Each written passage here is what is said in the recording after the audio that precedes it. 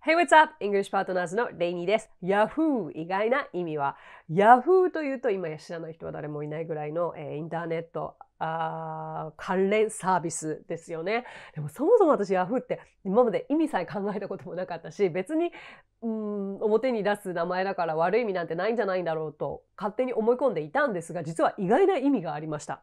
Yahoo! は、えー、そやな人とかあとはアメリカ南部のスラングで下品とかぎこちないなどの意味があるそうなんですよね。例文で You're such a yahoo! というと君本当に下品だよねというように使えます。